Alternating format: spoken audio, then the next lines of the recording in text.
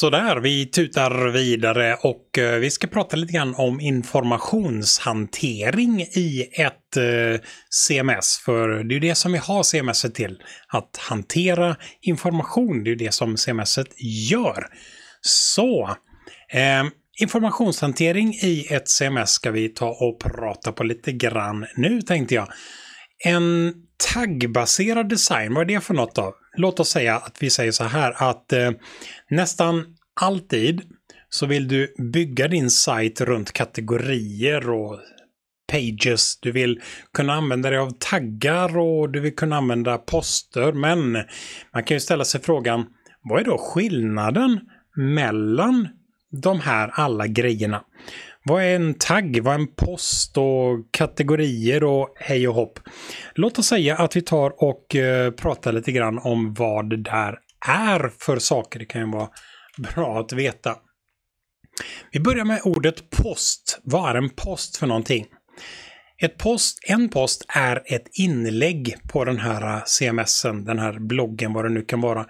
En post är ett inlägg, det är en informationsklump som är skapad vid ett visst tillfälle. Och hur posten ska se ut och sådär, det definieras i eh, naturligtvis loopen i vanlig ordning. Under dashboarden så kan vi gå under eh, post och så kan vi titta på alla poster som finns och så vidare. En viktig sak med just posten är att tillfället, alltså tidpunkten när den är skapad, är viktig. Okej, nästa märkliga ord. Page. Vad är en page för någonting? En page är mer som en statisk sida. Man gör en page på samma sätt som man gör en post, men eh, en, en post, den den innehåller, vad ska man säga, det är mer en del av sidan. Medan pagen är någonting som upptar hela sidan kan man säga. Så en page är någonting som upptar hela sidan.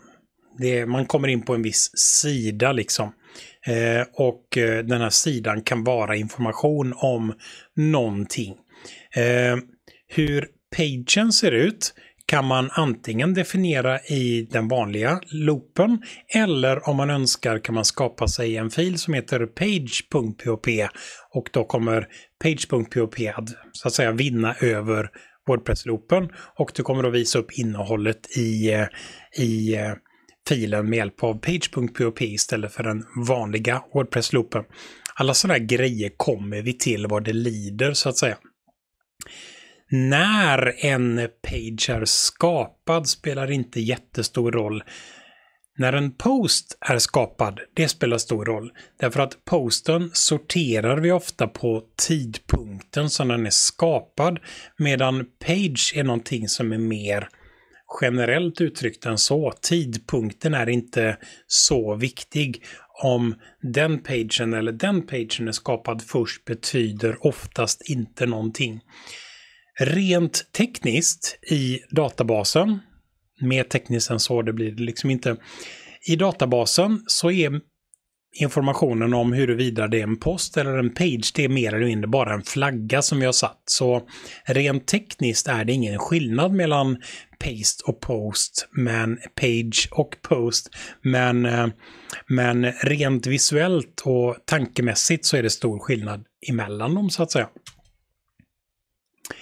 Kategorier. Vi kan eh, definiera upp ett visst antal kategorier som vi kan placera exempelvis poster under.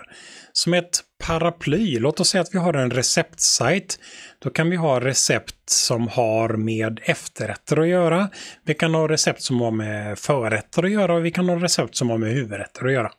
Vi kan definiera upp om vi gör exempelvis eh, chokladbollsrecept, då kan vi säga att det här tillhör kategorin efterrätter exempelvis. Det finns möjligheten i Wordpress att kunna skapa sådana här kategorier. Om vi går in under Post så kan vi då skapa oss nya kategorier exempelvis.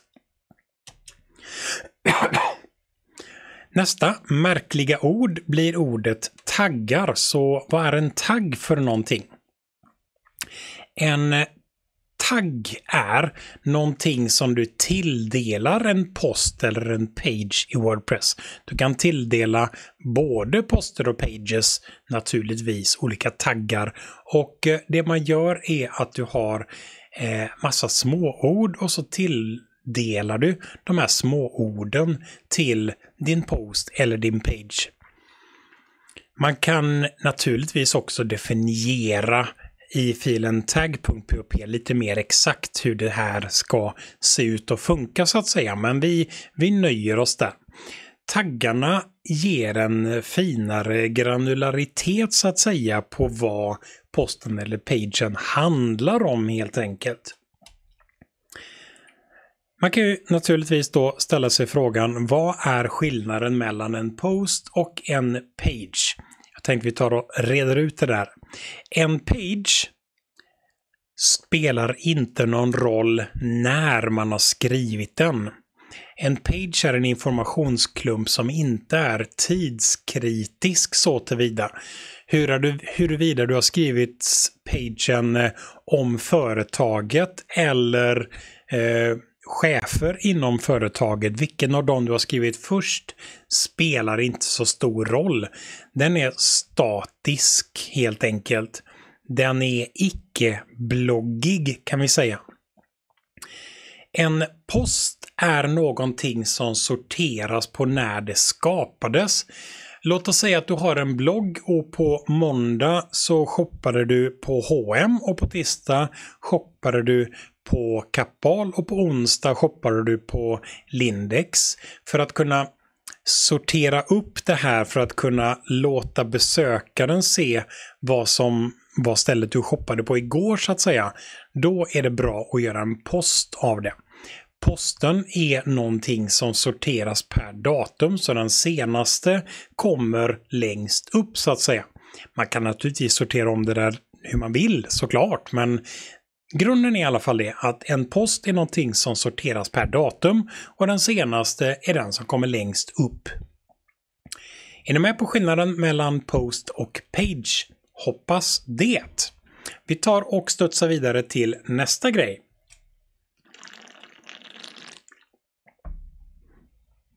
Vi har även pratat om taggar och kategorier och eh, jag tänkte vi skulle ta och prata lite grann vad skillnaden är mellan taggar och kategorier också. Kategori, om vi börjar där. Kategori är som en större samlingsbegrepp för saker. Vi grovsorterar in saker i kategorier. Om vi hoppar tillbaka till vårat recept eh, exempel som vi hade förut. Där hade vi kategorin förrätt, kategorin huvudrätt, kategorin efterrätt. Det är en jättebra sortering på kategorier. Det är en ganska liten mängd och det lämpar sig, om vi tänker framåt, det lämpar sig att ha i en meny. Man kan klicka på recept och sen så kommer det upp tre saker med förrätter, huvudrätter, efterrätter. Det är en bra kategorisering av information. Nästa grej som kan vara bra att eh, känna till är att en post kan finnas i mer än en kategori som sagt. Men man bör inte tilldela posten mer än en eller två kategorier tycker jag. Om vi vill definiera upp det lite med finare granularitet så finns ordet tagg. Taggen är då någonting som vi använder för att noggrannare beskriva den här posten. Om vi exempelvis gör en post innehållande receptet på chokladbollar kan erkänna att jag börjar bli hungrig på chokladbollar. Vi pratar så mycket om det. Ingen annan som blir det? Eller? Eller? Okej, okay, vi gör ett recept. Vi har en kategori som heter efterrätt och eh, vi gör ett recept på chokladbollar. I den här receptet chokladbollar så har vi olika ingredienser. Exempelvis skulle vi kunna kategorisera lite grann per ingrediens. Kanske vill vi ha taggarna gluten eller taggen kalla efterrätter eller eh, ja, man brukar hitta på någonstans mellan två och fem taggar att ge till en post. Så lite där är skillnaden mellan taggar och poster. Eller förlåt, mellan taggar och kategorier. Så, recap. Vi hade poster och vi hade pages. En page ser vi mer som en fullskärmssida så att säga. En post är en informationsklump och den när det gäller posten är det viktigt när man har skrivit den. Den nyaste grejen man har skrivit sorterar vi och lägger längst upp. Okej. Okay. Eh, skillnaden då mellan taggar och kategorier. En kategori, där har vi kanske på en sajt låt oss säga ett litet antal kategorier. Förrätt, efterrätt, huvudrätt. Liksom det är bra kategorier. Vi kan klicka, vi tänker oss en meny där vi har de här undervalen så att säga. Eh, en kategori är det. Eh, till skillnad från en tagg som är då mindre vad ska man säga, mindre post-it-lappar som vi kan sätta på en informationsklump, en post eller en page. Så vi kan ha massvis med taggar i systemet och till varje informationsklump, det vill säga post eller page, så kan vi då tilldela någonstans mellan 2 och 5 ungefär taggar per inlägg. Så, nu har ni lite kläm på post och page och tagg och kategori. Det tycker jag får räcka. Ses snart. Hej då!